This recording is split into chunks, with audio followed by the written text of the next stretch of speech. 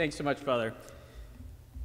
It's a pleasure to be here with you all, and uh, I'm very grateful for the opportunity to journey with you over these next three days. Brothers and sisters in Christ, I bring you greetings from the six Buffalo seminarians at St. Mary's Seminary University in Baltimore in order to prepare themselves to be your servants and shepherds.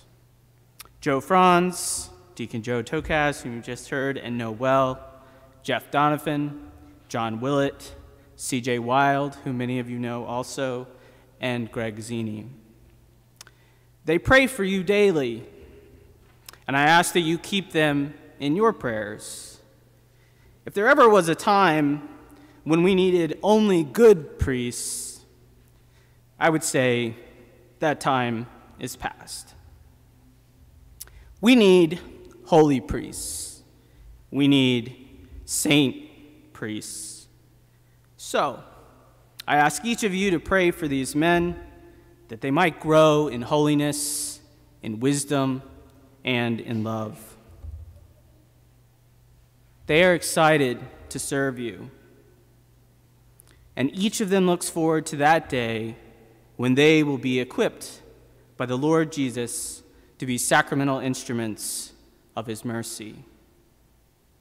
I'm proud to say that I know each of them personally, and it has been a distinct honor and privilege to teach them over the years that they have been in formation. They are not just my students, but my friends, my brothers in Christ. Please remember them before the Lord. I can assure you that they do the same for all of you and all the people, all of God's people in Buffalo.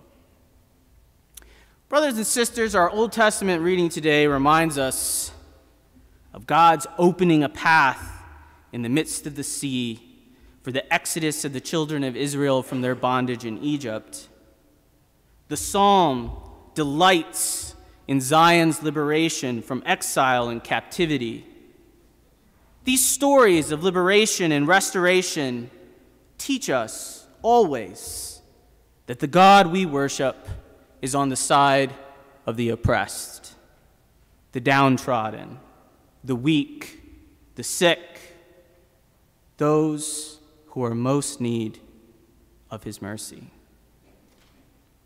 As Jesus instructs us, those who are well have no need of a physician, but those who are sick. I have come to call not the righteous but sinners to repentance. But it is important to keep in mind, as the gospel for today reminds us, that our God is also not a God who chooses between mercy and justice when he liberates, when he heals, when he restores. Rather, our God is one whose every work of justice always, always presupposes his mercy. After recounting the exodus from Egypt, the word of the Lord recorded for us by the prophet Isaiah proclaims See, I am doing something new. In the desert, I make a way. Now, I ask you, although it's been a while, to think back to the first Sunday in Lent. Where did our gospel begin? Where was our gospel located? We were with Jesus in the desert, accompanying him during his temptation. And where will we find ourselves as Lent draws to a close and opens on to the sacred Triduum. We will be in a garden, accompanying Christ in his hour of prayer. Elsewhere in the book of Isaiah, we are told that the Lord will comfort Zion. He will comfort all her waste places and will make her wilderness like Eden her desert like the garden of the Lord. Now, this topography of Lent suggests, as you've heard many times and in many ways, that Lent is a journey, an itinerarium, a pilgrimage, which stands as an annual symbol of the pilgrimage of life. And our reading from St. Paul exhorts us to embrace this pilgrimage, to continue in hope, forgetting what lies behind and straining for what lies toward, what lies ahead. The life which we are called to as Christians, however, this life of holiness to which we are all called, cannot be achieved except through participation in and imitation of the life, death, and resurrection of Jesus Christ. The Second Vatican Council teaches us that the Lord Jesus, the divine teacher and model of all perfection, preached holiness of life to each and every one of his disciples of every condition of every station. So St. Paul intimates to us in our reading that he wants, he wants to know Christ and the power of his resurrection and the sharing of his sufferings. How? By becoming like him in his death. Now, Pope Francis has taught us that true holiness consists in experiencing, in union with Christ, the mysteries of his life. So let's turn to the example of his life, to our gospel reading for today.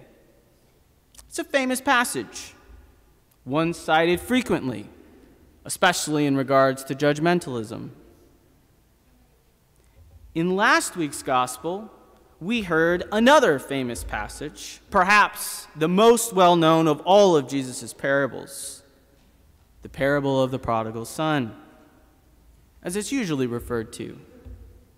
But many exegetes suggest that maybe, although it's certainly about a prodigal son, that perhaps the reason that Jesus told it was not so much because of the prodigal son but because of the merciful Father. So, this is a parable of the merciful Father. Now, if this is true, then it seems to me that our gospel reading for today teaches us how to imitate divine mercy. Indeed, it instructs us how to become divine mercy to others not by choosing mercy over justice, but by restoring justice through mercy. Prior to the confrontation that Jesus has, the gospel begins by telling us that Jesus has been on the Mount of Olives. This is code. This is the evangelist's way for telling us that Jesus had been in prayer. For it was his custom to wake up early and pray. And whenever he was near, he would do so on the Mount of Olives. Now, this is significant, and it's something we're going to look at together over these next three days. This is significant because it teaches us that Jesus never, never undertakes his day, never undertakes his mission of divine mercy apart from a prayerful encounter, a dialogical communion with his Father. The confrontation, the scene. It's important to recognize that there is a prophetic configuration, a particular placement of characters in this scene. For the scribes and Pharisees have positioned themselves in what the prophets would understand to be the satanic position because they're standing in the position of accuser. Now, we see examples of this satanic typology in the book of Job and in the book of Zechariah. Satan is the cosmic accuser.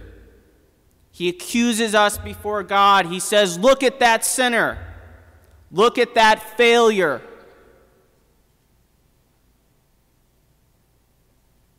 But Jesus does something different. And it is important to remember that Satan is a sinner too. Satan failed by pride even before our first parents. And like we saw in Jesus' own temptations by Satan, these teachers of the law lead with Scripture. They seem to be on the side of divine justice. They even seem to be calling Jesus to administer divine justice. Isn't this part of his mission? To restore what was lost? So it is. But Jesus remains silent. So they press him again and he doodles in the sand. Finally, he says something. Let the one among you who is without sin be the first to throw a stone. Silence reigns again, and the mob departs, and it's just Jesus and just the woman. After a short and powerful dialogue, Jesus says, Go. And from now on, sin no more. Jesus does not overlook the woman's sin, or anyone else's for that matter. He knows everyone's sin in the crowd. He knows each of our sins. He doesn't tell the woman or any of us that our sins are okay. What he does say is stop. Sin no more. In essence, he tells her just what St. Paul told us don't look back, look forward, push toward the prize, which is the righteousness and justice of God. If we want to be like God, then we must sin no more. We must say no to sin, just as we said no in our baptismal promises. We must be perfect as our Heavenly Father is perfect. What Jesus teaches us today is that holiness does not merely consist in the mere avoidance of evil, the mere avoidance of sin Holiness is not just about not getting dirty. Holiness, Jesus teaches us, is the active pursuit of virtue and mercy. The Beatitudes of Jesus don't commend merely speakers of mercy, but doers of mercy. So, what I re- invite you to reflect with me upon in these coming days is this journey of Lent that we're on. This journey from misery to mercy, from compunction to consolation, from the desert of tribulation into the garden of the Lord. So let us remember to pray together in these coming days the words of the psalm which we heard just a moment ago. Restore our fortunes, O Lord, like the watercourses in the Negev. May those who sow in tears reap with shouts of joy.